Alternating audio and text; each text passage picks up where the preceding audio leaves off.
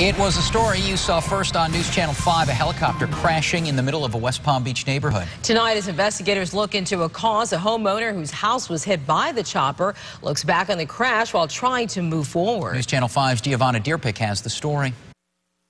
One day after a chopper crash landed right here in the Northwood section of West Palm Beach, you can still see the foam that firefighters used to spray down the area. The homeowner also returned for the first time to reflect on what she calls a miracle. Nedra Obradovich is thankful to be alive. Even though she didn't know what the sound was, she thought it could be the end for her. I was standing facing east and the sound is rolling toward me. And I'm like, I really was just going, wow, this is it? This is the way it happens? It was a rental recreational helicopter.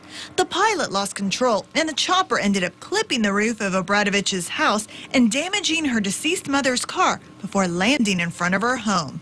Neighbors told Obradovich palm fronds went flying, but the pilot and passenger inside were okay. What was so fantastic was the people that were in it walked away with cuts and bruises. Neighbors also came out this morning marveling at how things turned out. That could have been our house, you know. It could have been us.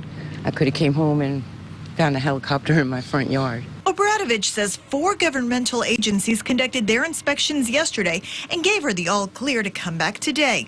So as she tends to her bird Abby, who also survived, neighbor Matt Week thinks that one of the signs out front might want to be modified.